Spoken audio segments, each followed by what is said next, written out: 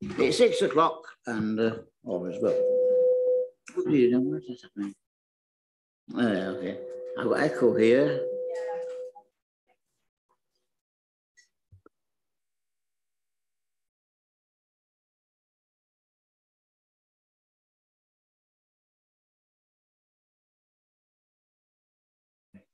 Is that better? No. It's a little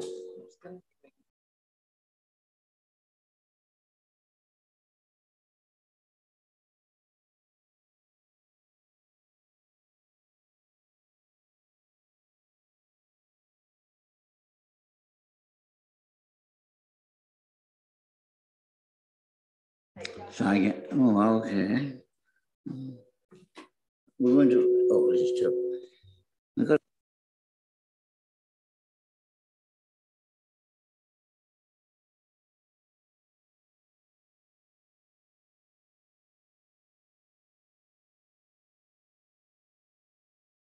Is that better?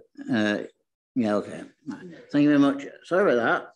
I'm still a bit echoey, to be quite honest with you. Um, welcome to this meeting of the Planning Committee. My name is Councillor David Beaman, and I'm the chairman of this committee. Members and officers, please keep your please raise your hand to indicate you wish to speak. Please keep your microphone on mute when you're not speaking. And please can I also ask that any questions that get brief and to the point. Uh, contribution will be time tonight and you'll be maximum four minutes. We have seven members of the public and two ward councillors speaking tonight. And I would like to remind ward councillors to sit separately from the committee when applications in the ward are being considered and voted on by the committee. Right, let's go on with the agenda. One, apologies for absence and substitutions. Leila. Yeah, um, I've received apologies from uh, Councillor Andrew Laughton and Councillor Janet Crow. And uh, Andrew Laughton will be substituted by Councillor Michaela Wicks and Councillor John Ward is substituting Councillor McLean. Thank you very much.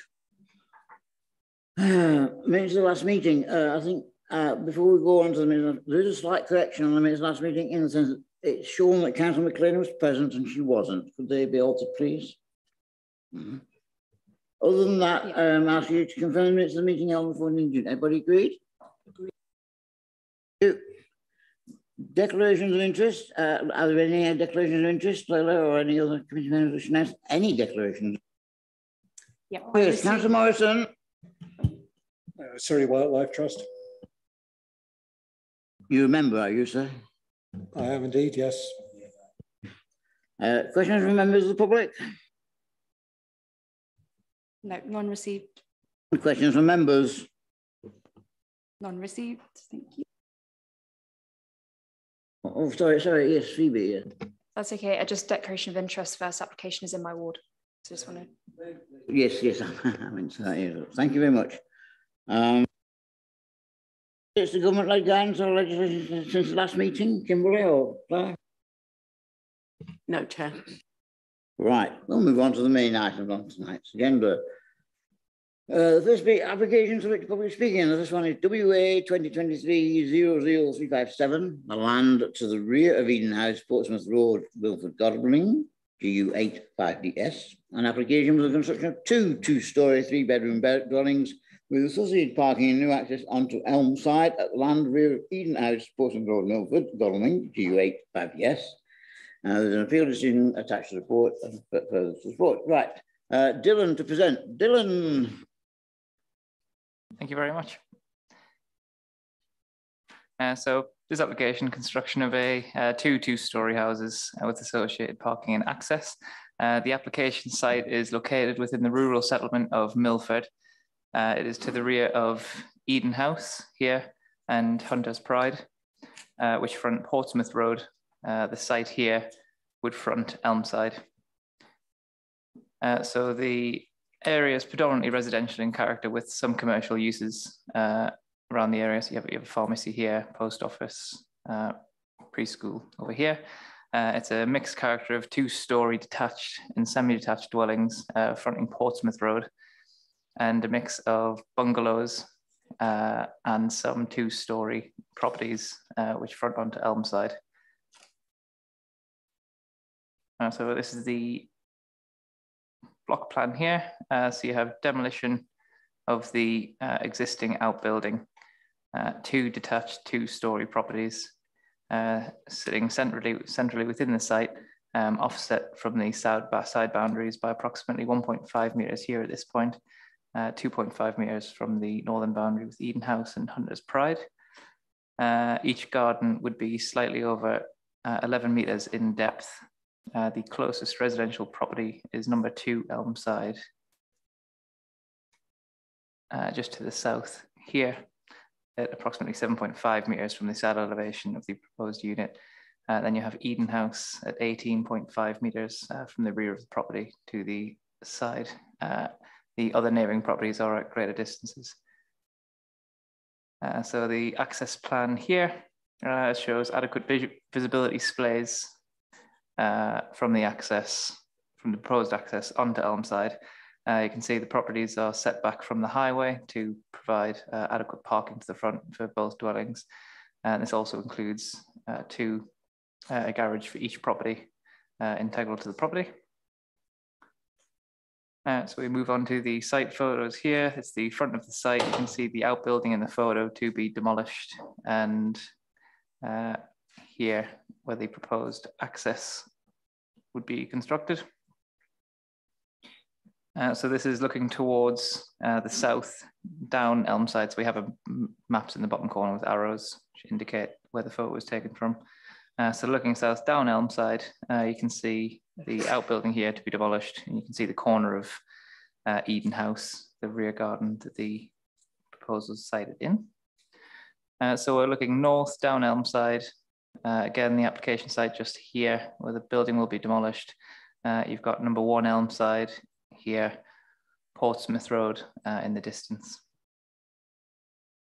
Uh, so these are some photos from the street scene of Elmside. So you can see that it's a mix of bungalow properties, uh, some two-story properties, and this is one and two Elmside, uh, which are to the south of the site here. Uh, so this is the junction onto Portsmouth Road. Again, you can see the, the character of the property is two stories, uh, detached, semi-detached dwellings, uh, looking out to the north with the application site behind us. And then the image from uh, the junction of Portsmouth Road looking to towards the sites. So you can see Eden House here and the outbuilding just over here where the two two-story properties would be located and you've got one, Victor one and two Victoria cottages here. So there is a, mix of properties and this is the reverse image. So the rear of Victoria cottages, rear of Eden House. Uh, so moving on to the proposed elevations. uh, so what's proposed is similar in character and appearance to the nearby dwellings on Portsmouth Road. Uh, which the two dwellings would be viewed in the context of. You could see in the previous slides that uh, viewing north and south, the properties would be viewed in the context of Victoria Cottages uh, when entering the junction and heading south or coming around Elmside and heading north where you see the rear of the properties. Uh, side elevations. Uh, move on to the proposed floor plans. So each dwelling would exceed uh, national space standard. Uh, each room would have adequate outlook and uh, the dwellings would mirror one another. So it's handed floor plans. Uh, so there has been a previous application, a 2008 uh, application that was dismissed at appeal, um, that, which is this site plan here. Um, it was for a pair of semi-detached four bedroom houses. in this application, the inspector considered the proposal, the proposal appeared incongruous in setting with the bungalows in Elmside and Victoria cottages on Portsmouth Road, and that the layout would be more visual, that would be more visually cramped than the adjacent houses, uh, with an, a vertical emphasis uh, to achieve the required internal floor areas. Uh, it was also considered by the inspector that the garages here, uh, which are separate from plot one, uh, indicated an overdevelopment and poor design scheme. Uh, so what we've got here is the application site is slightly larger uh, than the previously dismissed scheme. Uh, the dwellings have been separated to form two detached three-story bedrooms that are design-wise more in keeping with uh, the dwellings on Portsmouth Road. Um, they're slightly wider to have a more horizontal rhythm, uh, again, in keeping with the Victorian cottages on Portsmouth Road, and parking is provided to each, each the front of each dwelling with an element of soft landscaping uh, retained or introduced uh, to be more in keeping with the area. So uh, these are the elevations of the dismissed scheme. So you can see a pair of, sem pair of semi-detached, uh, quite tall and narrow in appearance in the way it's been designed. Uh, so these are the determining issues uh, for the reasons I've set out in the report. And as part of this presentation, the application is recommended for approval uh, with conditions. Thank you. Thank you very much, Dylan. Right. Um, now, on this one, we have one of the members of the committee, Councillor Sullivan, who is, uh, it your ward, isn't it? So therefore, you'll not be entitled to speak um, during the debate, but you will have the right for four minutes before and four minutes afterwards. But I must ask you if, if you could please just move musical chairs and just move away from the committee for this part of the section, please. Thank you very much. Right, we have three public speakers then. The first one being a Kevin Scott, who wishes to speak in support of the scheme. Kevin? Hmm.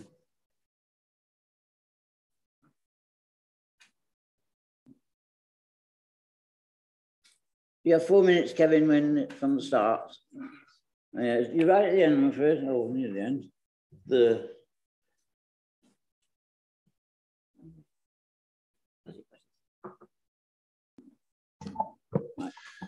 Right, Mr. Scott.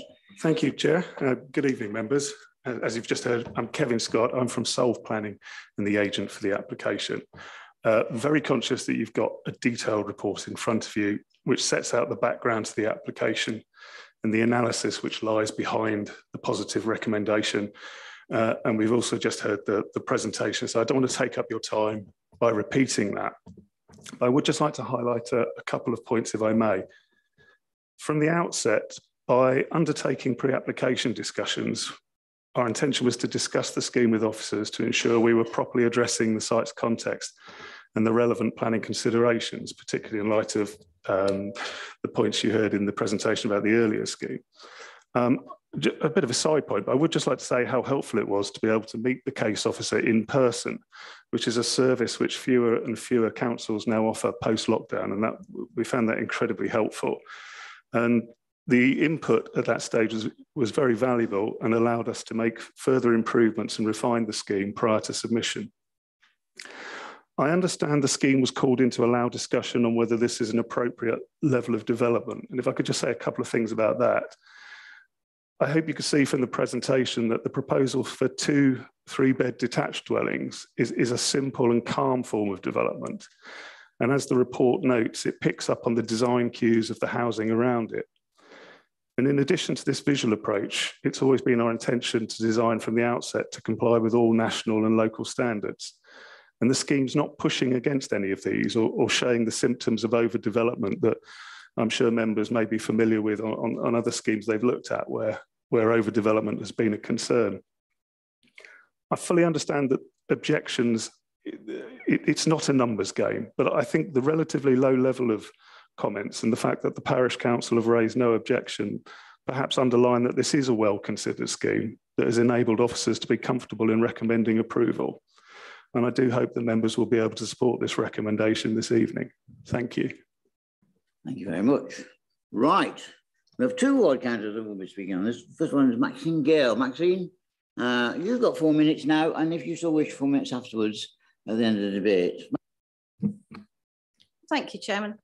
Um, I asked for the application to be heard before committee as the previous ward councillor for Milford, Christine Baker, had spent time speaking with nearby residents and requested a call in, and that was back in February. Um, the objections recorded by residents are only one objection, the others say neither. The ones which say neither concern me as they all have objections as far as I can see, but these may not be objections which could be valid in planning terms, or maybe they tick the wrong box. They do cover the following points, along with issues of congested road and parking on the roadside by residents who are already there and the local pharmacy visitors. The side windows in elevations overlooking gardens, loss of privacy due to loss of very large hedge, which would also increase noise. The overlooking gardens from the first floor elevations, one to four Victoria Cottage gardens, all overlooked by the first floor elevation. I note that some windows, because of this, would be opaque and opening only above a certain height. But is that really a good prospect for the people who may end up living there? Lack of parking if the garages are converted to habitable accommodation. That's something that happens quite often. They're turned into kitchens. Um, this would leave even less off-road parking space per property. And I wonder if the garages actually could accommodate our sort of vehicles we drive these days. Elmside is predominantly single story or chalet bungalows, not two story as in the accompanying paperwork. And there are four vehicle access points adjacent to the development. One Eden House has a very, has a very old granted application for an entrance from Elmside onto their property, which I note has a garage facing the road, but no tarmac drive over. So I suppose they just go over the grass verge at the moment. An appeal was dismissed in 2008 for a pair of semi-detached and the inspector concluded that the development would cause harm to the character and appearance of the area. I don't see this application as being any different. Semi-detached or detached, it's still built form and it comes with additional vehicles. Personally, I would be happier to see a one low-rise property on the site, which would give better parking facilities, less overlooking issues, and more room on site for construction, which also bothers me. Um, building those two houses in that small plot off of that very narrow road could cause congestion during the build. Um, we have seen recently in Milford on the 283 parking on the pedestrian crossings, um, on roundabouts, on grass verges, where a development for just one dwelling. And I hate to think how they're going to fit two houses with all that squeezed in with construction traffic. Um, finally, the old Portsmouth Road gets very busy and congested due to the traffic lights and the, it can back up towards Elmside. And I fear that if there's lots of parking on Elmside, as well as the cars trying to get in and out, it's going to cause even more congestion. So that's why I wanted to bring this forward, Chairman. Thank you for hearing me. Thank you very much. Right, Councillor Sullivan, you wish to speak? You got four minutes. Oh, no, no, no, no, no, fine. Um, well, We'll have an opportunity at the end if you wish to speak after then. Right. Um, councillors who wish to speak on this item? Anybody? Councillor Rubini. Thanks, Chairman. Um, I have a lot of respect for the view of Councillor Gale. Um, she's known the area for a long time. Um, I certainly know the area. But when I look at the papers, if we look on page 15, for example, Witley and Milford Parish Council, no objection. Surrey Highways, no objection. That parking on the road, presumably, is covered by that. In fact, we have no objections from the statutory partners at all. It is, as you say on here, five letters. Unfortunately, we all know that although it's looking at the letters of objection, they don't actually count in numbers in planning terms. It, it's a feeling, so yes, the nearby neighbours have written in. Um, I personally think it's quite a, a neat way of dealing with that bit of land. And I would have thought that the houses would fit in there. There seems to be plenty of room between them and the neighbours. So my own personal view is that I would actually uh, agree with this application and two three bedroom houses in that plot I think would fit. Um, parking is an issue, um, but we can't foreguess that they're going to take the garage and put it into something else because in planning terms, of course, they are submitting a plan for garage. So we have to take it that that is going to be a garage. I do agree that most modern cars probably won't fit in it, but we'd have to wait and see. Um, but on the whole, I would agree with it. Thank you. Councillor Coburn. Um, I agree largely with, with Councillor Rabini. Um, it's like everything else. It's not exactly what I would have put on this site, but given that we have to look at what's there, I think it is uh, acceptable. Can I just clarify, is the obscured glazing not just to bathrooms and en suites? It isn't to a, a habitable room, is it? Oh, that's right. Because that to me uh, is an absolute no-no. I think there's nothing worse than having su such bad design that you have to have obscured glazing in habitable rooms. But if it's just your bathroom and your ensuite, then obviously that's totally different. Um, so, uh, you know, I think with the changes, um, having, you know, I did read the inspector's report carefully. Things have changed in many ways since then, but it that it was really bulky, wasn't it? That previous one, you could just see how clunky it looked on the site. And, you know, I'd like a little more separation between these two, but as I say, you can't always get exactly what you want. And on balance, I think this is acceptable. Thank you. Any other councillor wish to speak? No. no. I can't see anybody else. Right, well, we come back to the, the ward councillors. Councillor Gale, do you wish to have any more comments? Only to say, yes, I, I do appreciate what everyone's saying, Chairman. Um, we have to look at these things on planning grounds, but I do think it's necessary to point out local opinion to these things and maybe if people don't know the area. Thank you. And Councillor Sullivan, you wish to add anything? Right, we move to the recommendation then. That subject conditions, permission be granted. Those in favour, please raise their hands.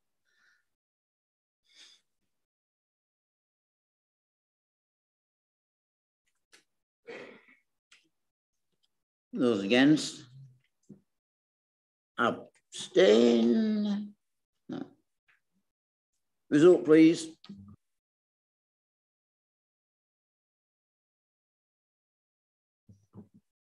That's 12 for 0 against, so the motion is carried.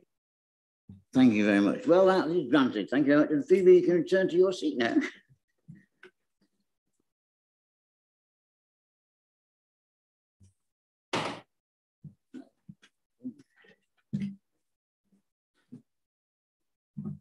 Right, move on to the next application, which WA 2023-00190, Netherwood Court, Filmer Grove, Godalming, GU73AF.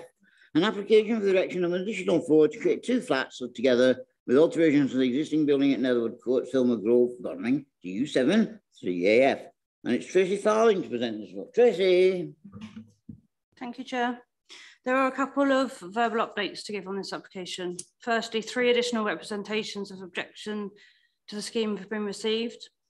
Um, they're on the same grounds as those stated within the officer report of overdevelopment, um, sorry, impact upon neighbours and increased traffic along Filmer Grove and on the additional ground of overdevelopment. Uh, one representation mentions the impact upon 10 Brockton.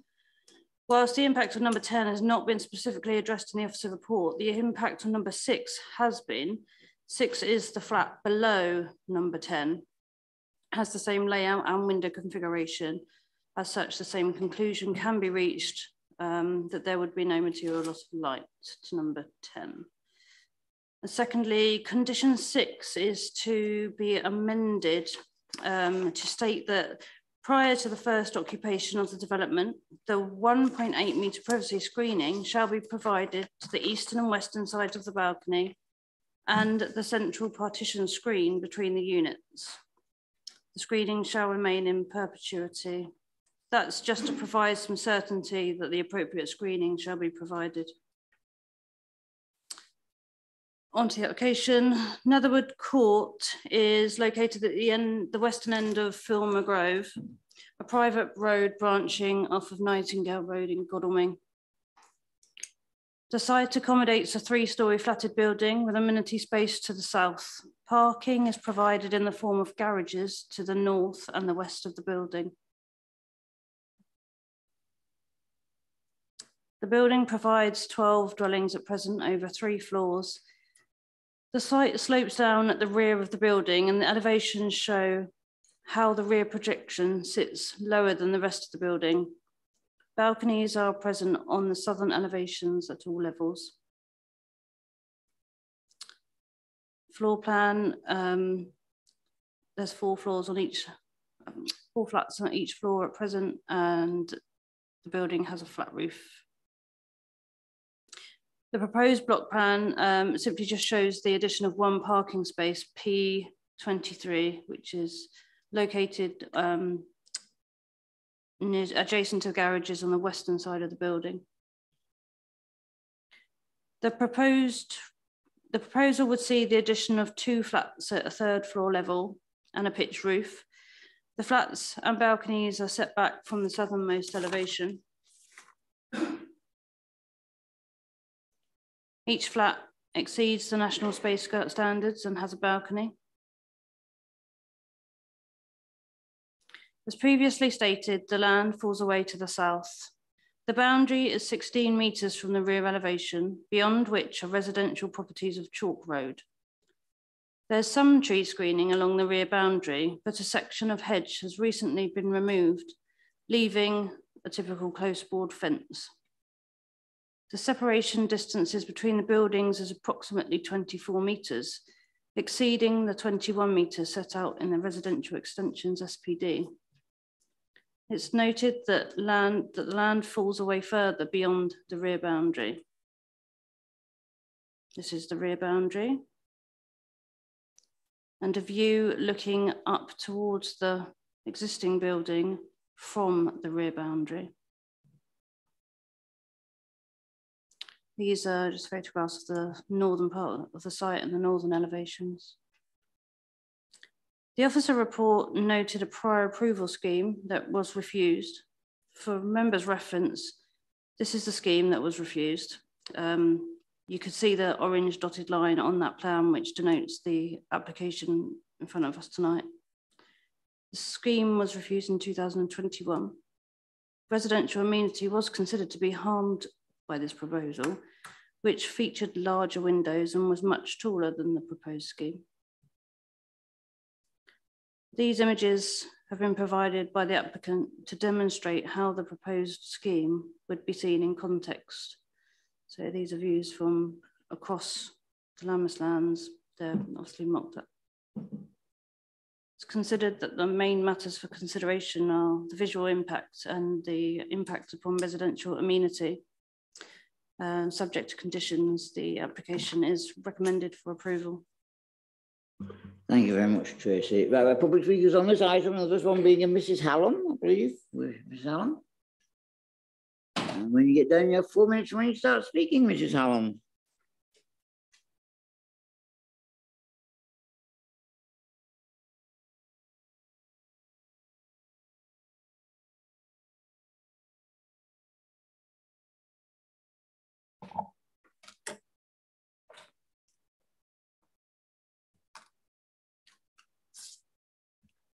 Leila, do you want me to say that I'm speaking on behalf of Mr. G as well?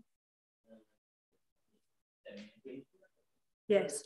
Uh, I just want you to know that um, Mr. G, who was going to also share this time with me, um, is not well, and he submitted to me what he was going to say. So I'm going to deliver that as well. Of course, we recover. Right, Mr. right, your four minutes starts when you start speaking, Ms. Arm. The overlooking and lacking of privacy to properties in Chalk Road.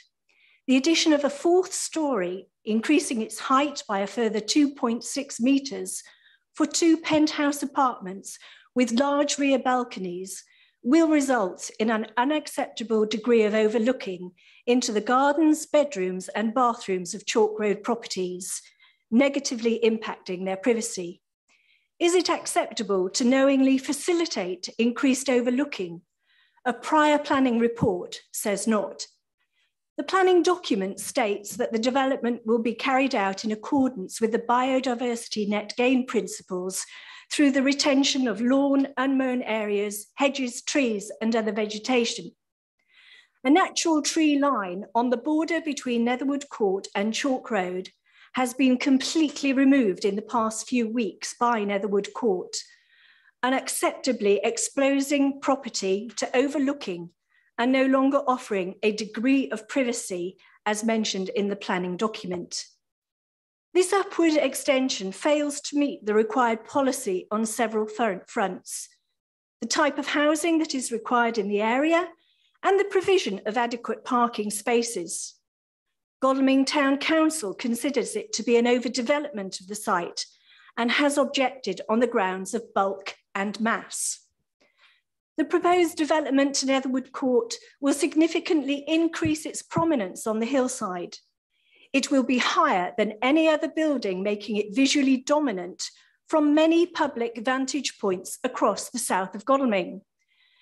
This overdevelopment for the addition of two dwellings causing irreversible visual harm to a unique feature of Godalming is wholly inappropriate especially as there are 128 flats coming to market down the hill at the mill development on Borough Road.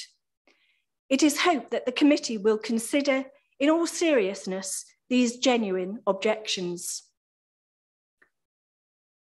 And now the um, letter from Mr. G. The potential building of new dwellings, uh, two new dwellings, would create additional congestion and parking issues on this already congested private road. There is inadequate space for the parking of an additional four vehicles to serve the Netherwood Court development. And indeed, after planning amendments, only one has been squeezed into a small space comprising natural landscape, including an embankment. Residents of Netherwood already fill the road outside Brockton due to the lack of parking spaces. Alongside this is the unsuitability of the road to support the heavy industrial vehicles bringing building supplies to and from the site. This will further compromise the space for residential parking throughout the day and be a disturbing presence for all residents at Brockton, many of whom work at home. In addition, there is a real concern regarding the damaging risk of subsidence caused by the works. Currently, Netherwood, Brockton and Gray's-Lee sit adjacent at equal heights. Increasing the height of Netherwood would overshadow Brockton and be a complete imposition on privacy to residents. The open plan balconies are enjoyed throughout the day and evening, and the development would take away natural light and the enjoyment of sunset hours. The two new potential open plan balconies at Netherwood would leave Brockton's existing balconies without any privacy being completely overlooked.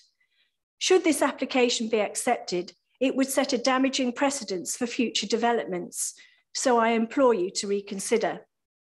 It is also concerning that residents of Brockton have already been informed that planning permission had been granted.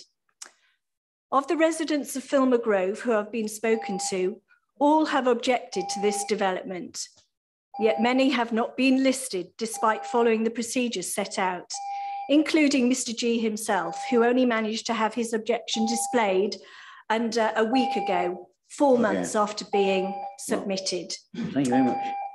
I'm afraid time's up, I'm afraid. Thank you. Right, uh, Ward Councillor, Councillor Steve Williams, if you wish to speak on this item, and you have four minutes after, if you so desire. Councillor Williams. Uh, thank you, Chair. Thank you for the opportunity to speak on this uh, planning application from the Netherwood Court Management Company, which manages the block of flats, which would be extended upwards as a result of this application. Now, as the ward member, um, I asked for this application to be called into this committee um, following significant concerns from immediate neighbours, both in Filmer Grove itself, which is a quiet uh, cul-de-sac and those living in Chalk Road, which, um, as, uh, as colleagues will be able to see, runs parallel to Filmer Grove at the bottom of the Godalming hillside adjoining the um, Lammas lands. Now, members of this committee will need to weigh up those concerns of the neighbours, um, uh, the majority of which, in my judgment, would comprise significant planning grounds against the uh, points that have been uh, made earlier by the planning officer. Um, this development does provide additional residential development uh, and the visual impact from Filmer Grove would be relatively slight, although the addition of one additional parking space for two flats, as the officer has just pointed out, could certainly increase the congestion of this quiet uh, cul-de-sac.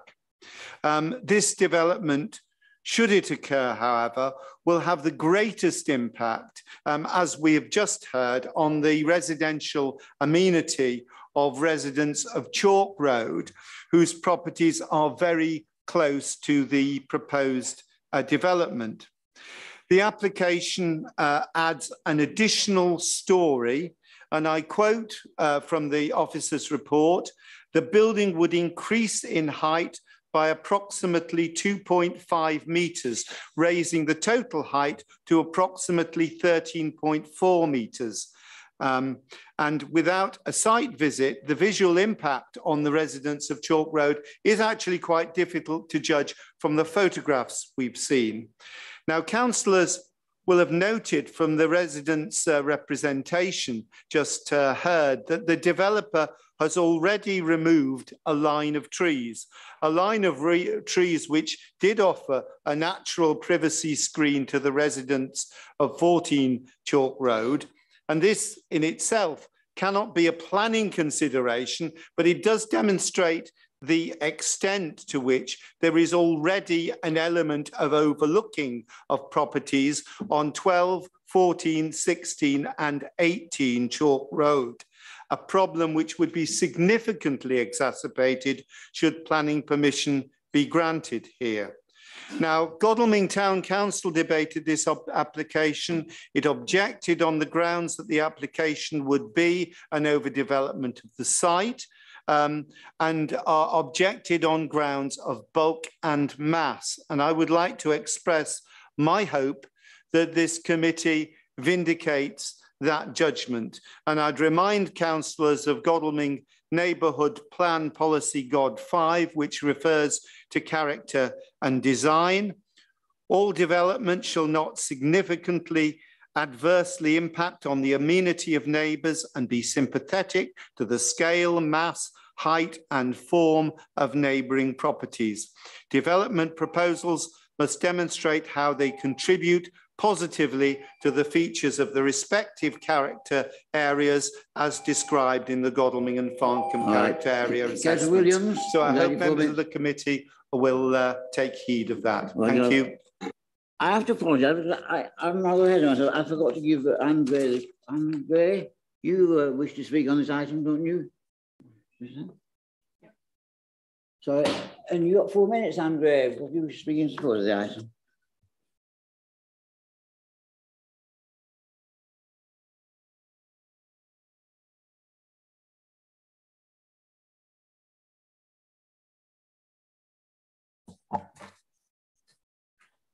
Thank you for allowing me to speak tonight. In addition to the points raised in the planning statement document with this planning application, I want to speak to you on behalf of the leaseholders of Netherwood Court Management Company who own the freehold and of which I am chairman of directors. Netherwood Court was built in the late 60s. During the 2000s, the roof was replaced and we were advised that it would last for 20 to 25 years. However, in 2015, we were having issues with ingress of water into the top flats. We decided to have a full survey of the roof, and this raised many issues, including the rotting of the materials underneath the felt and the coping stones. The top layers of bricks had been affected by rainwater running down the walls, and as there was no overlapping to stop this. To replace the roof and address these issues was going to be costly, and the surveyor ended his report by saying, why don't you put two penthouses on the roof which could address these issues?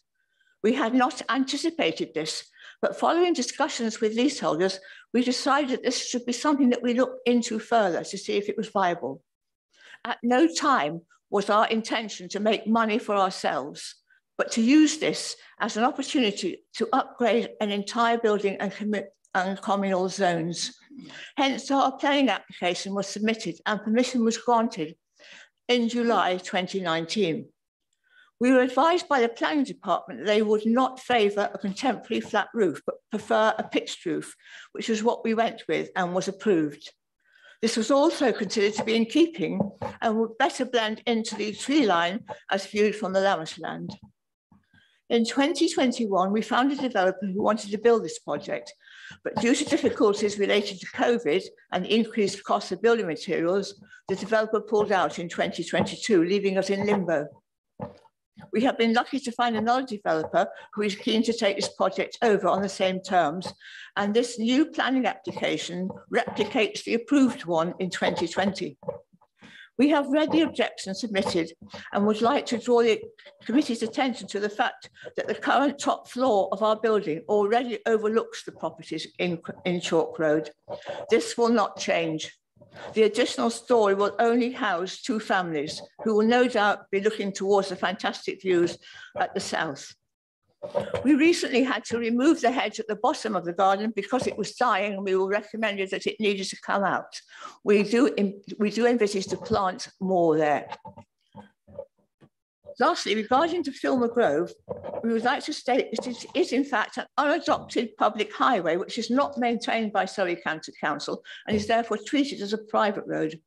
It serves four properties of multiple occupation. These have all have parking spaces within their boundaries. And indeed, we have garages, and parking is not a huge problem, as alluded to by some objectors. Netherwood Courts Management Company have tarmacked the end of the cul-de-sac and applied for adverse possessions from land registry. This has been granted, and this will enable us to have more parking within our land. Filmer Grove has always been full of uneven surfaces and potholes, but I have recently organised and got funding from all the properties in the road to have it resurfaced and curbs put in. This will enhance the environment of Filmer Grove considerably, which has always been our aim. Thank you for listening to me, and I trust you will support your case officer's recommendation for approval. Thank you very much. Right, councillors, who wishes to speak on this item? Oh, Councillor Keane. Thank you, Chairman. Um, I note on page 41 um, that um, this scheme does not propose to fell any trees or do any significant work to trees. So to hear that trees have been taken down is, is quite um, a concern. Um, and also um, looking at the, the plans, this building does seem significantly higher. And I like the scheme, but I don't like the height of the, of the two proposed flats. Thank you. Councillor Coburn. Thank you. We've seen uh, similar uh, suggestions to this uh, in other parts, and, and there's no question flat roofs on these flatter developments are a pain in the neck. Um, my mother-in-law lived in one. As, as such, she wasn't at the top. The people at the top were constantly having problems with uh, with the flat roof. You know, it, it, they don't last very, very long.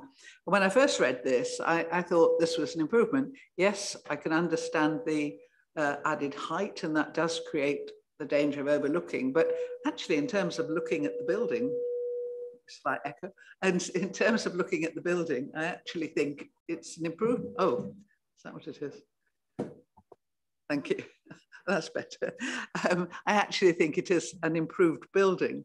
Um, my real point is, if it is so similar to uh, the previous application, you know, I mean, how on earth can we start suddenly now saying that something that was acceptable but not delivered for various reasons is now unacceptable? I think we would seem to be um, very unreasonable if, if we did that, you know, unless things have materially changed and, um, you know, different conditions apply. But reading as much as I can locally, I haven't got that impression.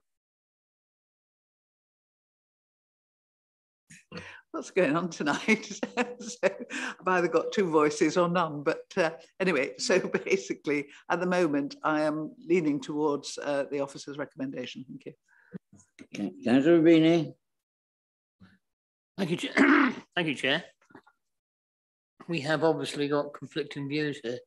Um, I would normally look at the Godalming Parish Council and they object um, when we look at neighbourhood plan, there's reasons for objection. However, taking the point in case about WA 2019-0183, where it was granted, in a very similar way, I've got to agree that the problem is if it went to appeal, would they take that and say, well, we've already got that. It, it, it's very similar. The other point that I want to raise is the parking.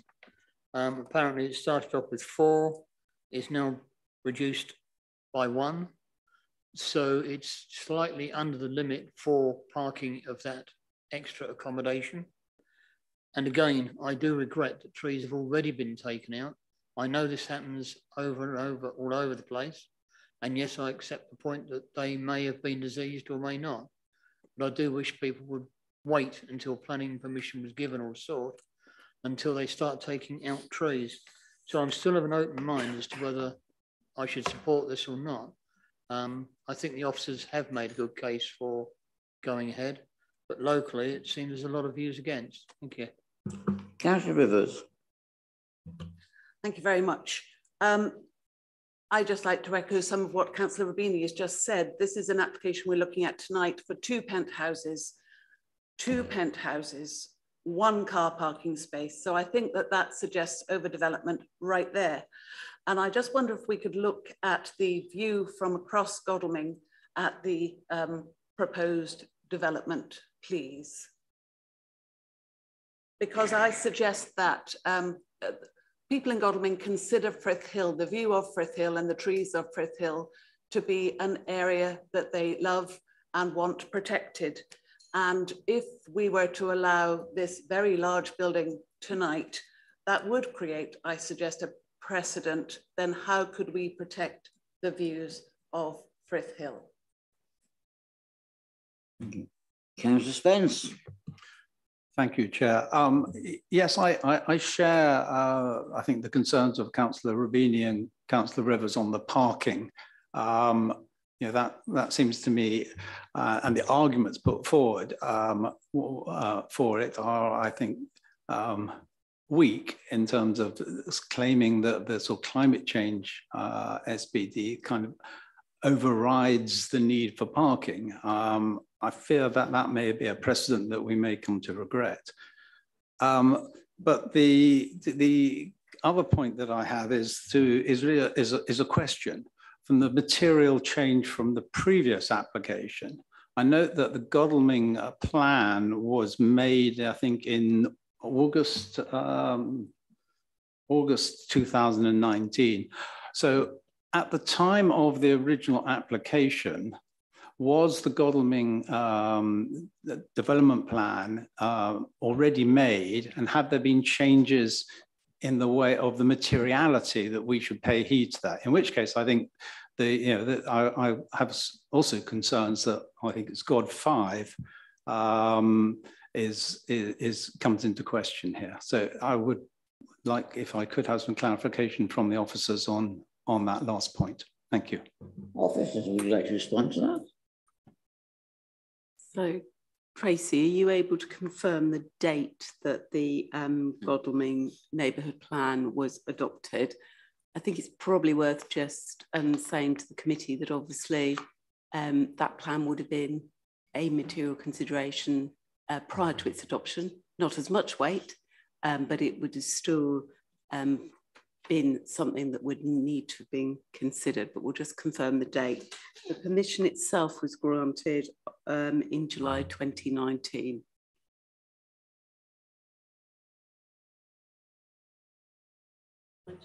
So August 2019, it was adopted. So, I mean, it was very close to adoption. So I think, you know, you would have been giving it quite a lot of weight at the time of making that decision. Um, but obviously, in the context of policy, there would have been other policies um, that would have been considered as well at that time. Um, and the fundamental policies, um, the NPPF, haven't significantly changed since that 29 decision. And hence, you know, officers are advising the committee tonight that that 29 permission is a, um, you know, a, a significant material consideration and there hasn't been any significant shift in policy since the grant of that planning permission.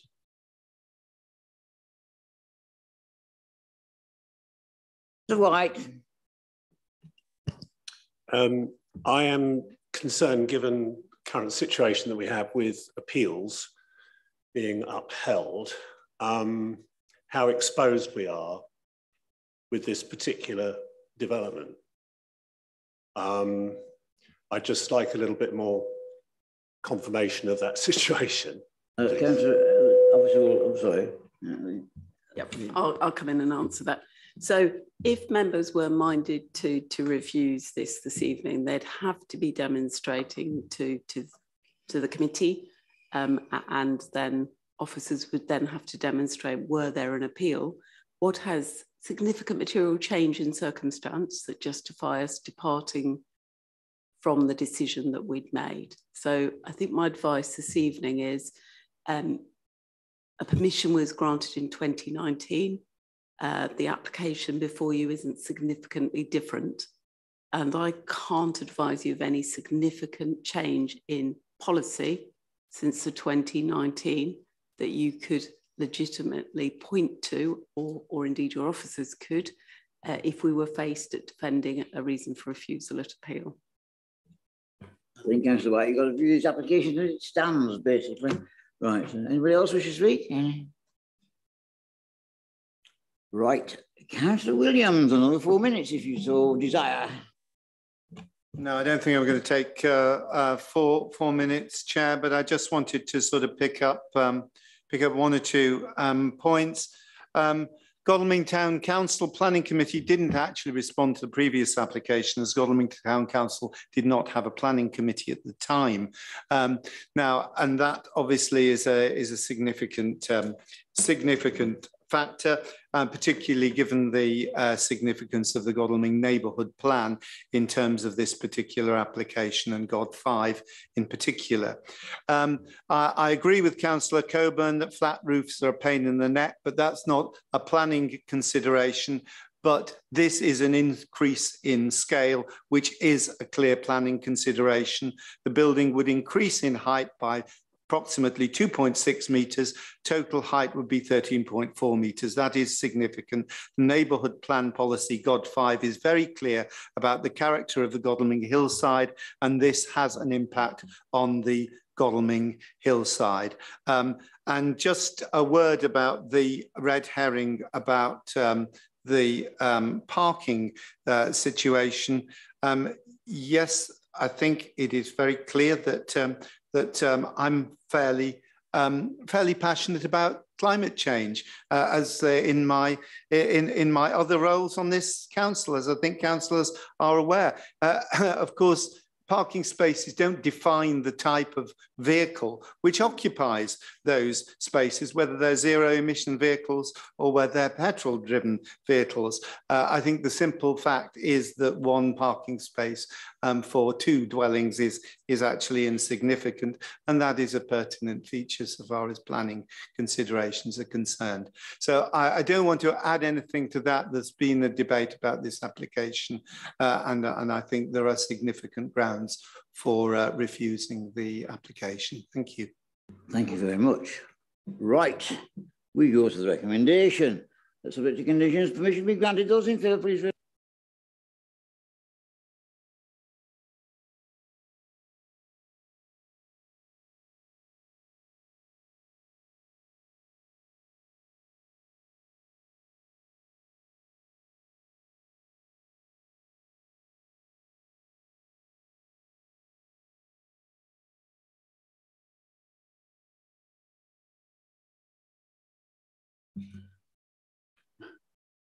Result, please. That's eight for and four against and one abstention. The recommendation is carried. Which is the land at Wanborough Lane, Cranleigh, GU670S. Uh, application for the erection of a dwelling including new vehicle access as amended by Highways Information received on the 30th of August 2022 and Ecology Information received on the 13th of July 2022 and 26th of August 2022 at land centre coordinates 507306 1399395 Wanborough Lane, Cranleigh, GU670S. Sam Wallace to, to lead the report, please. Sam, your turn. Thank you, Chairman, and good evening, members. Uh, the application under consideration uh, is um, WA 2022-00967, uh, land at Wanborough Lane for the erection of a dwelling, including new vehicular access. Uh, this application has been brought to the committee on the request of Councillor Philip Townsend, who wished for further consideration to be given to neighbour objections and impact on a sensitive site. Um, the application is uh, situated to the east of Wanborough Lane. Uh, it's just outside the de developed settlement boundary of Cranleigh um, and is designated as countryside beyond the green belt. Um, it is noted that the line of the development settlement uh, boundary runs directly down Wanborough Lane. Um, the area to the rear of the site is designated ancient woodland and to the north of the site is Old Cottage, which is a grade two listed heritage asset and I've got an aerial view which shows a generally sort of linear form of development on both sides of the road with some backland development to the north uh, including the recently built Fox Meadow.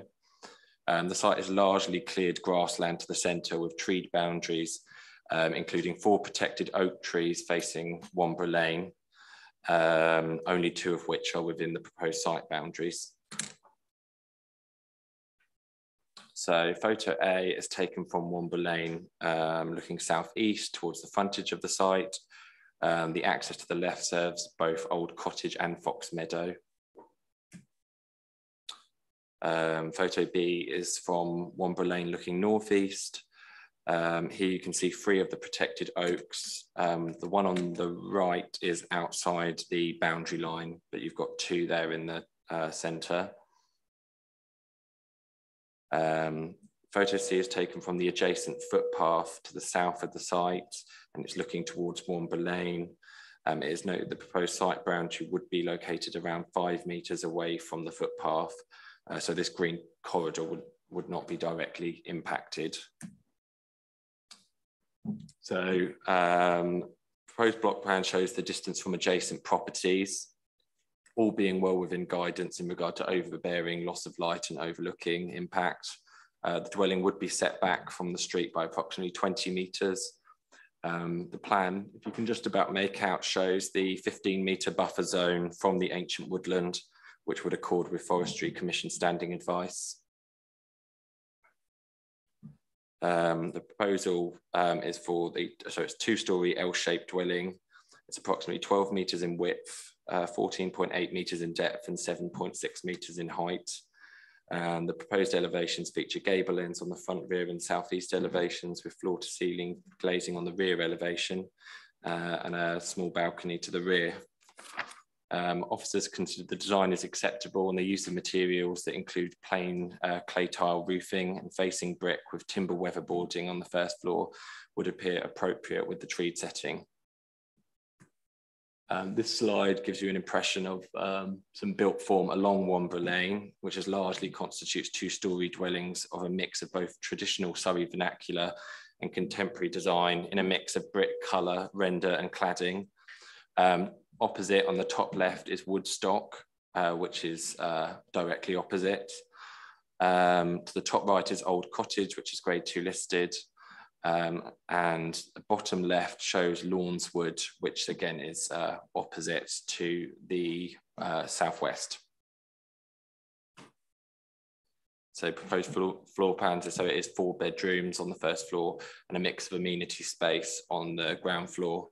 Of note, there are no first floor windows in the north facing elevation towards Old Cottage um, in order to avoid that sort of detrimental outlook. Um, so in conclusion, the main matters of consideration are design and impact on visual amenity uh, is considered given what has already been mentioned that the proposal would infill a gap in a generally linear built up frontage along Wanborough Lane. The design would be appropriate amongst a varied street scene and given the setback and screening of protected trees, the development will not appear unduly prominent. In regards to residential amenity, as highlighted in the report, distances from boundaries and neighbours accord with SPD guidance. Um, finally, on impact to trees and ancient woodland, there's no objection from either the Council's Trees and Landscape Officer or the Forestry Commission, and the proposed dwelling would be outside the 15 metre buffer zone.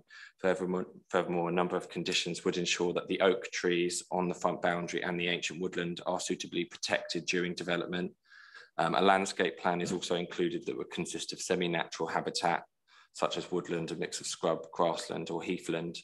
Um, officers consider this would enhance the site at present in regards to both biodiversity and the woodland buffer.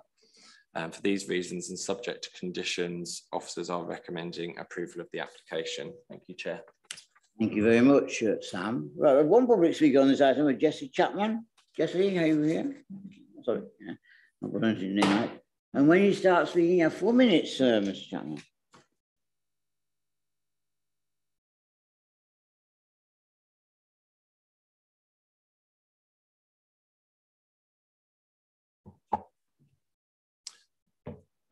Thank you, members of the committee, for giving me the opportunity to speak in favour of the proposal this evening. Um, I, I, don't believe we have anyone speaking in objection, so I, I, won't take too much of your time. Um, as you know, in assessing the proposal and in making their recommendation to approve the application, your officers have identified the submitted application as being fully compliant with the Council's relevant policy documents and overarching planning advice set out within the National Planning Policy Framework.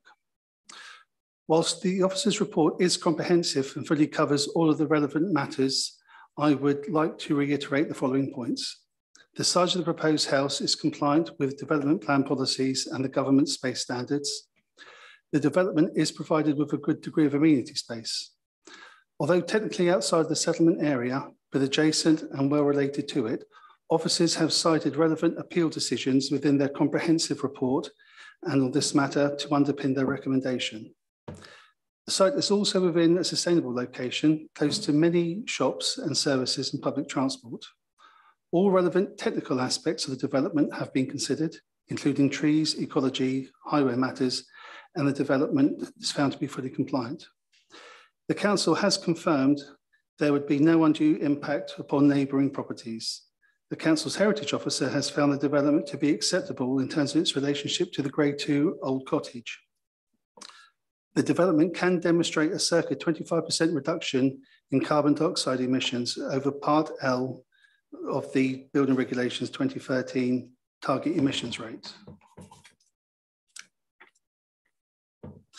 Although a modest contribution, development will help the Council achieve a five-year housing land supply, and we believe the development to be of a good design in keeping and complementary to the mixed character of development within the area. I am also pleased to see that the Forestry Commission, the Council's Tree and Landscape Officer, have recommended that the development is an opportunity to enhance the setting of the adjacent ancient woodland. Indeed, the applicants would also welcome any additional conditions or indeed even a legal agreement um, in regard to further woodland enhancements. Um, I reiterate that the application before you is recommended um, for approval by your officers and to be fully compliant with the development plan. Um, thank you very much for your consideration. Thank you. Thank you very much. Councillors, turn today. Any wish?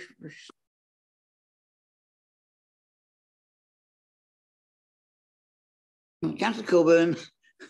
I think we should say something when officers have, you know, done a lot of work and somebody comes along to speak. Um, I think this is perfectly acceptable. In fact, I'm, I'm slightly hoping the lottery comes up tonight, you know. Um, very rarely something comes up and you think, well, wouldn't mind living there. Um, no, I, I just think it's a very well designed house, or it looks very well designed from the, from the pictures we see. Seems to sit nicely. I can't see anybody objecting um, in the in the report. I mean, there are some objections from certain addresses, but I mean, it, you know, the vast majority of people seem to be in support of this, um, and I should think it's going to be a very good addition to to the lane. So uh, I have no problem with this whatsoever. Any other council wish to speak? My word. All right. Uh, do we move straight to the... Uh, oh, Councillor Spence. Thank you, Chairman. Uh, just a, a, a, couple of comments from, from me. Um, I'm um, with Councillor Cockburn. I don't find very many reasons here to object to this. Um, however, it's more a sense of frustration I have when I read in these reports of, of preemptive tree felling. And I'm conscious that you know, from a planning perspective, our hands are somewhat tied. But I just wanted to, to have on record my frustration that this seems to be uh, something that we see time and time again. And um, I think it's, it, it's something as, as, a council we should, we should look at. But that's, that's all I have to say. Thank you. All I will say to that is if you haven't got tree preservation order on them, then obviously, you know, people are free to do what uh, they wish. Okay, Joe, uh, right. Do you move to the recommendation then? The recommendation is that uh, subject to information be granted. So those in favour, please raise their hands.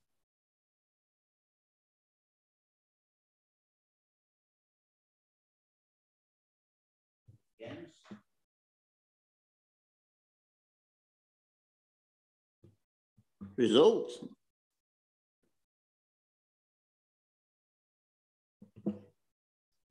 Um, yeah, that's 13-4, so the recommendation is carried. Thank you very much. Right, we move on to the last application tonight, which is um, WA 2022 02867 Cariad Knoll Road, Cariad, Cariad Knoll Road, Godalming, GU72EL. This application is for the direction of extensions and alterations as amended by plans uploaded on the 22nd of February 2023 at Cariad Knoll Road, Godalming, GU72EL. And there was a site visit here on Monday, which a number of us were present at. And the officer is Sam again, Sam Hollis to present. Sam. Thank you, Chair.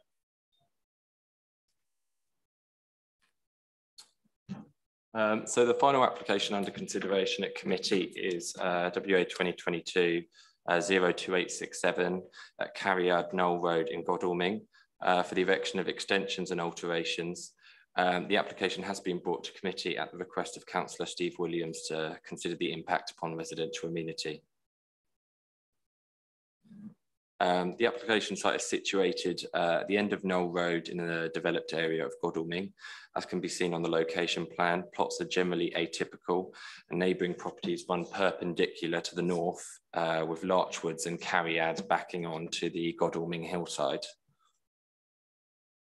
Um, so this aerial view, it does attempt to show the site with constraints. So uh, the hatched green area is the ancient woodland obviously you've got the property with the indicated figure on it. Um, that's uh, Cariad. Um, the area between the green lines is subject to the Godalming Hillside uh, God 12 policy in the Godalming and Farncombe neighbourhood plan. Um, you can also see a protected oak tree to the southeast of the dwelling. Um, the proposed block plan shows the distance from adjacent neighbouring uh, boundaries and distance from the rear of the site onto Godalming hillside. Um, these distances would generally be compliant with residential SPD guidance in relation to overbearing development for two-storey and single-storey side and rear extensions. Uh, there would be ample parking provision to the front of the site and no changes to the existing access are proposed. Um, so photo A and B show the front elevation of Cariad uh, looking down Knoll Road. Um, the existing building is uh, 1960s uh, linear sort of dwelling, sort of contemporary for its time, uh, sort of horizontal cladding on the first floor. Um, you can also see an existing sort of flat roof water tank on the second level. Uh, you can just, just about make that out. Um, the top left picture, you can gauge the distance between uh, Cariad and the neighbour at Thorwood Cottage. Uh, so photos is of the side elevation of Cariad. There currently is a uh, first floor side terrace area with no screening and a, first, a sort of rear first floor conservatory uh, that would be demolished to accommodate the new extensions. Um, you can also see the recently added timberboard fencing along the boundary with Thorwood Cottage in the distance. Um, so this is of the rear elevation of Cariad looking north. The photo shows the distance sort of from the hillside, sort of stood pretty much at the hillside uh, where the picture was taken. Um, and so this is the view from the um, of the hillside from Lammas Land outside the council offices. Uh, the neighbour larch Larchwoods can be more readily seen, uh, whilst Cariad is afforded more screening given the higher protected tree line um, and shows overall there would be really sort of no material impact in officers' view on this on the skyline. Um, Um, the proposal is for a, a yeah, part single story, part two story extension to the side, uh, two story rear extension incorporating a covered balcony, a terrace, um, and erection of a second uh, story level. Um, change to the fenestrations at the front include additional insulated glazing, which will be obscure, as well as two new obscure bathroom windows. Uh, there'll be cement render on the ground floor with vertical timber cladding on the first floor. Um, to the rear, these materials would be carried through with large scale glazing First floor terrace is located to the west. Uh, officers have conditioned that privacy screening be submitted, which would be an improvement on the existing situation where there is currently none. On the second floor level, there are only windows on the rear elevation. Um, officers have conditioned the removal of permitted development rights to make sure that no windows can be added to the front or side elevations of that second floor level. Um, The proposed side elevations um, show the second floor level with indicative height of what would be if there was a pitched roof, um, showing that it would actually be similar in height to surrounding pitched properties. Um, post floor plans show that it would be a large uplift in floor area, which does include a three bay garage and six bedrooms, um, notwithstanding the site is in the developed area, so it's not constrained in this regard. Um, the second floor level includes a gym and office, but as stated, only would have windows to the rear. Um, finally, the cross-section plan highlights the 25 degree rule regarding loss of light. Um, it shows the distances from Thorwood Cottage would be acceptable, and as such, there would be no material loss of light to this property. Um, so the main matters of consideration are, as discussed, are design and impact on visual amenity and residential amenity, and for the reasons stated in the report and uh, through the presentation subject to conditions, officers are recommending approval of this application. Thank you, Chair. Thank you very much, Sam. A number public speakers on this item, and the first being Nora Price. Nora, are you here? Are you? You've got four minutes when you start speaking, Nora.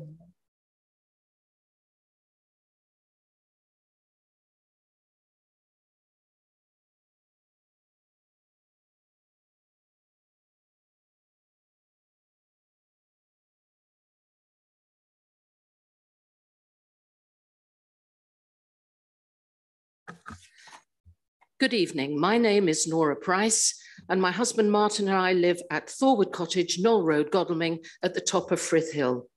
We have enjoyed living within this welcoming community for 35 years. We acknowledge that our neighbours at Cariad are entitled to develop their property. Indeed, the previous owners received planning permission in 2018, and we raised no objections at that time, as the proposal was sympathetic to its content, avoiding overdevelopment, and was not overbearing for its neighbours. Specifically, there was no significant western extension nor third floor. By contrast, the current owner's plans significantly exceed the scale of the previous owner's proposed development, which is why we object and believe the approval should be denied. Our neighbours moved to Cariad in September 22, mentioned they were thinking of developing a carport but we never imagined the scale of the whole development as submitted, and the immediate neighbours were not consulted prior to the submission of the detailed plans of 21 November 22. Similarly, we were not consulted about the amended application of 22nd February 23, and we and other adjacent neighbours resubmitted similar detailed objections around the 7th of March 23, including markups from Thorwood, Images one and two submitted with the objections are crucial as they show the impact of the proposed development from our perspective.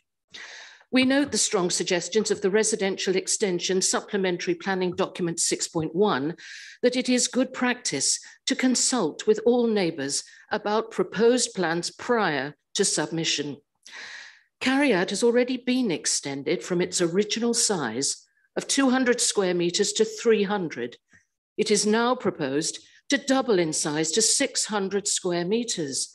Godalming Town Council, in their submission of 9th of December 22, had concerns about the size of the development, particularly in their points one and two. And they also raised concerns about proximity to boundaries, overdevelopment, impact on neighbouring amenity implications in respect of the Godalming hillside policy directly referencing contravention of policy points 5A and B. The overbearing nature of the western extension of the development would be most acutely felt by us here at Thorwood, particularly in the much used southern part of the garden in summer, and most certainly in the autumn and winter when the leaves have dropped. The new third floor is similarly overbearing for neighbours and Thorwood, and is likely to create issues for other properties in the area, and also having a negative effect on the Godalming and Farncombe skyline, which Policy 12 of the Neighbourhood Plan seeks to protect. We note the calculations about the extent of the plot that would be covered by the development. However, these calculations include the steeply sloping southern side of the site, that would not be usable for building and is what forces the building to be located close to the northern boundary of the site, which is shared with our property. This calculation significantly underestimates the proportion of usable land that the development would occupy. And in conclusion, we believe Cariad could be extended without the development being overbearing for its neighbours. However, the proposed development is simply too big, too close, and too high to its neighbours, and sets a dangerous precedent for larger, taller developments in the area. We believe the proposal is in conflict with the relevant design and environmental policies of the local development plan and should be rejected in its current form. Right on four minutes. Thank you very much. Right. Uh, next speaker we have is Charlotte Edkins. Charlotte, would you speak, please? As you, when you get start speaking, you have four minutes, Charlotte.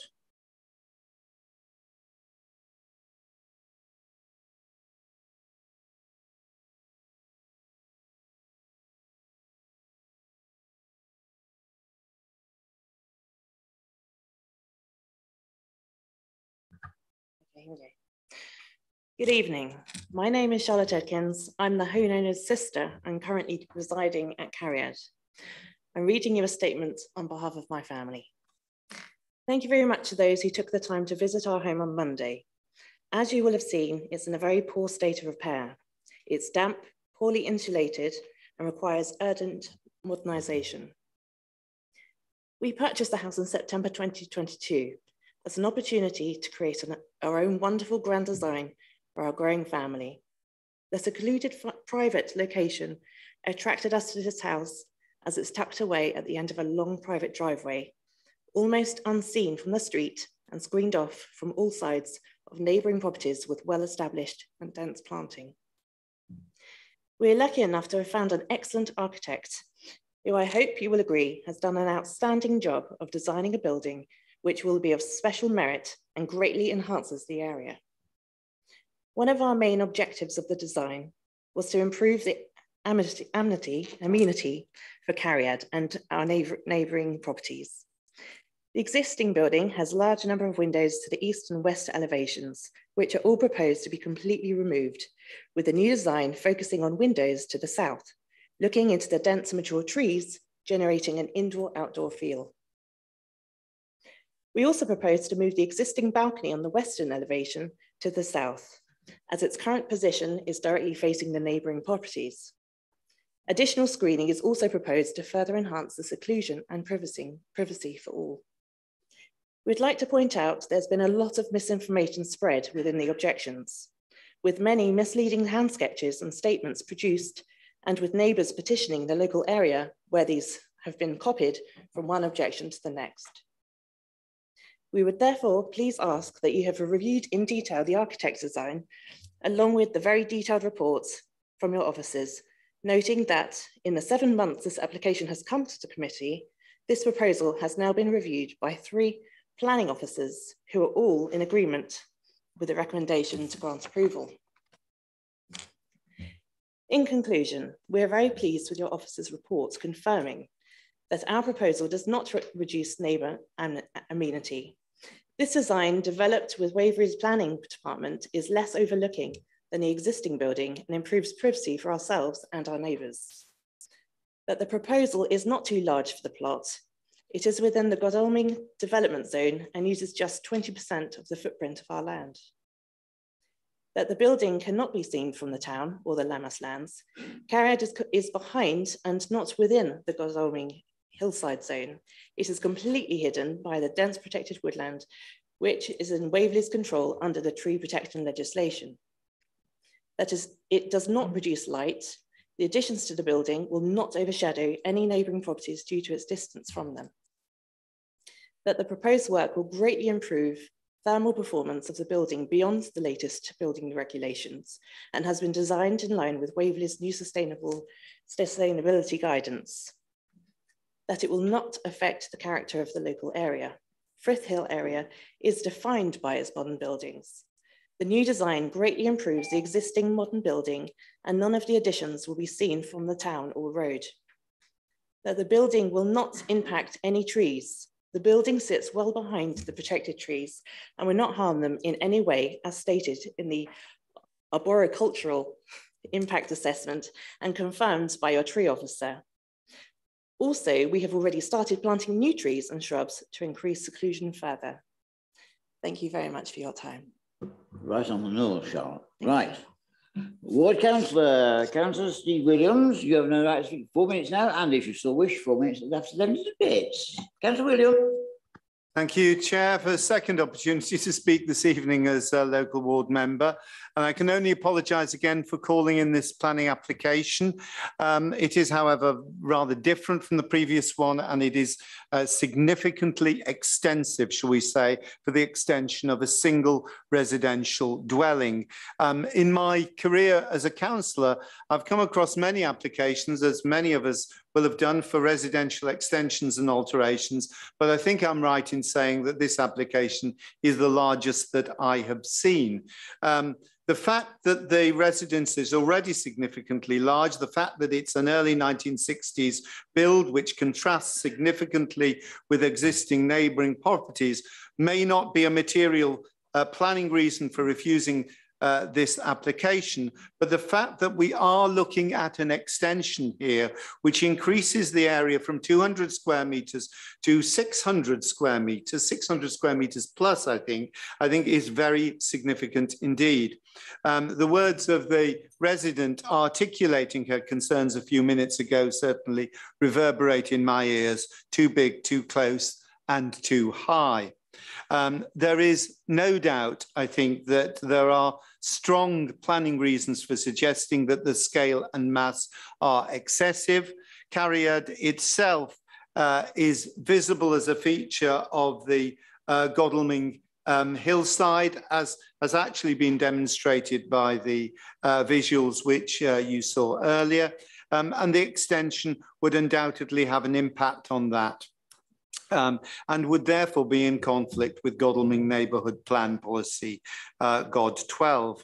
However, however, for me, um, the most significant uh, impact uh, and concern for this application is on the neighbours. Ne uh, members will be aware that 19 letters of objection have been submitted to the, this application, but the impact is greatest on the four residential homes that immediately adjoin the site. I visited Cariad itself and the neighbouring properties, particularly Thorwood Cottage, which is probably most affected uh, by the development.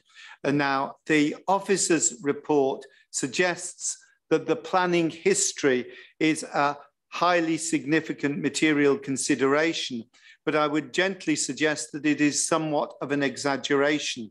I've seen the drawings of the proposed extension granted in 2018, and the scale is highly significantly less, uh, and there is no western extension whatsoever. And that is what has a particular impact on the closest neighbours living at Thorwood uh, Cottage.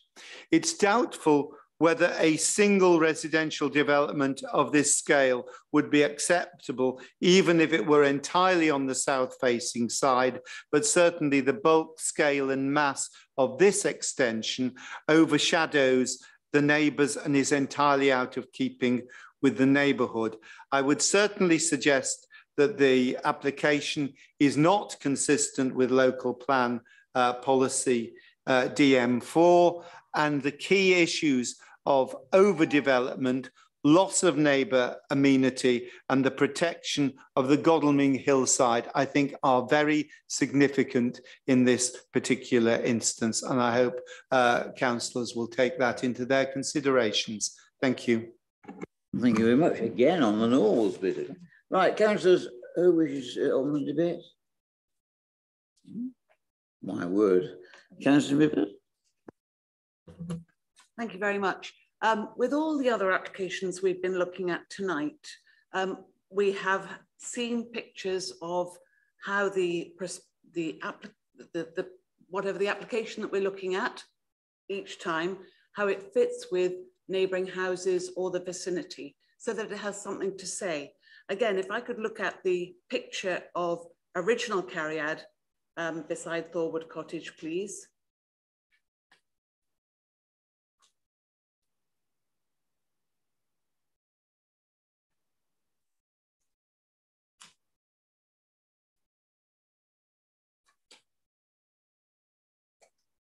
Because I think that, to my mind, it shows how the cladding of the original Cariad, how that almost links with the um, tiles of Thorwood Cottage. So it's almost trying to say something about blending in with the existing properties because Cariad, the original, the building that we have still, was in itself out of keeping with that area. But things change, designs move, but it still had something to say to its next door property.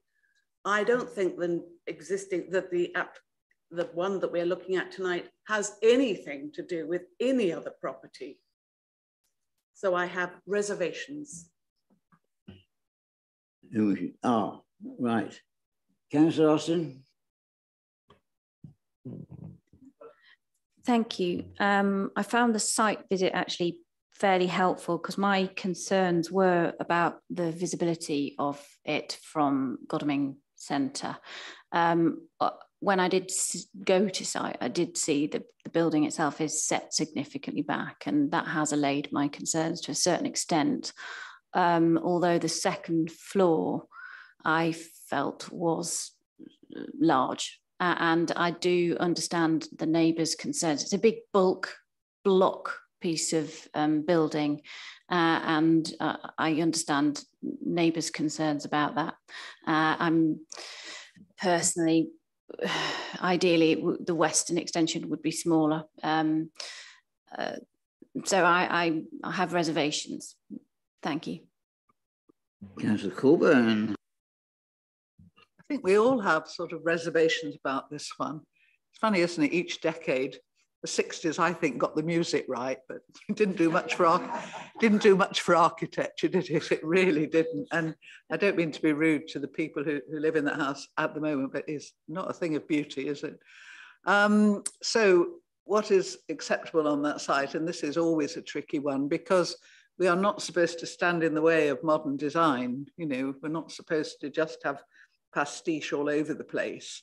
Um, but modern design, just because it is so in your face, always looks to me more frightening than a, a larger traditional design. There's, there's just something about the materials and the, the shape, the, um, the sort of baldness of it, if you like. It's, I have to say, it's not my cup of tea, but then, you know, there's plenty of other places to go. But I'm a bit like everybody else here. I, I can understand what they're trying to do, and I think they're doing the right thing um, making a really good home out of what, you know, really is, um, an unappealing uh, and probably not very um, uh, sustainable in any sense building. So it is just that question of the, does it go just that bit too far in size? And I think that is the, the difficult um, issue. But it does sit back and, you know, it, it's I'm swithering basically, but I, I can understand what they're trying to achieve. Um, I just wonder whether it, it is just a, a, tad too large. Thank you. Any other councillor wish to speak? Ah, Councillor Morrison and Councillor Rubini. Thank you, Chair. Um, when I, before going up to look at the site on, um, uh, on Monday, I was rather against this. I thought it was overbearing, overdeveloped. But actually being to the site and having a look at it and just seeing how cleverly the architects had actually maximized um, the property without getting into any sort of real planning issues. I personally think the west is just a little bit too large. I think the second floor is too large, but I am leaning more and more towards um, sort of going along with the, the, the, the actual um, plan as submitted. That's all I'd say. Thank you. Thank you. Councillor Rubini. Thank you, Chair. Um, when I looked at the um, application at home, the height, there's been great play about the square footage increase. How much is it actually increased in height? And I couldn't read it in the small detail here.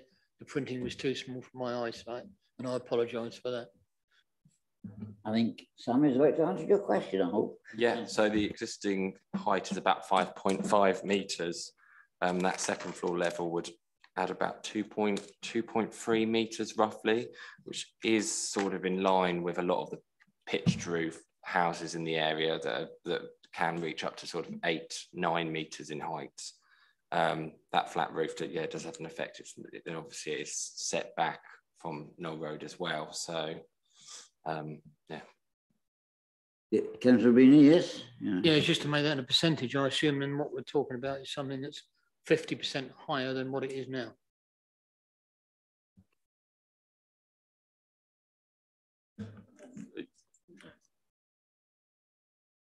answer that? Or that? Yeah, it's uh, probably don't know the exact percentage. It's probably slightly less than that, but yeah, seven, uh, 5.5 meters currently, and then about 2.3 meters on top of that. So um, it is. Um, there was the drawing that I could go back to, but it does show the what a pitch roof would look like, and it actually would still be less with obviously the flat roof linear design. Any other councillor wish to speak? No. Right. Uh, right, Councillor Williams. You have right another four minutes if you so wish. Um, I'll be very brief on this occasion. I think councillors have um, expressed considerable um, reservations. It's not because this is an extension. Um, I agree the residents are trying to make a good home and the architects are doing their best within the constraints, but the sheer scale of this is excessive.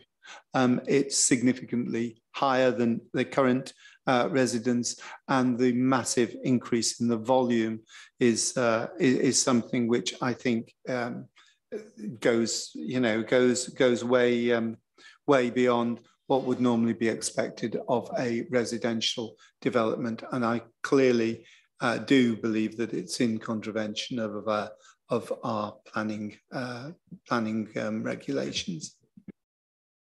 Thank you very much. Well, we move to the recommendation that subject to conditions, permission be granted. Those in favour, please raise their hands.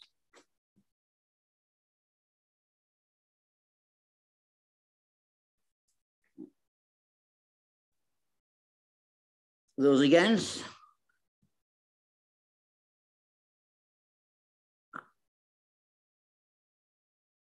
Abstain. Result? So that's seven, four, and five against. So the recommendation is carried. Right. Well, that brings us to the end of tonight's proceedings. Thank you for your forbearance. Uh, safe journey home, and we meet again in two weeks' time on July the 12th. Yes. Uh, just to confirm on the meeting, um, we are just putting together the potential agenda for the 12th, but we'll be able to confirm to Democratic Services whether there is sufficient business to hold a meeting on the 12th. Um, so you will be hearing from Democratic Services to confirm whether or not the 12th of July meeting goes ahead.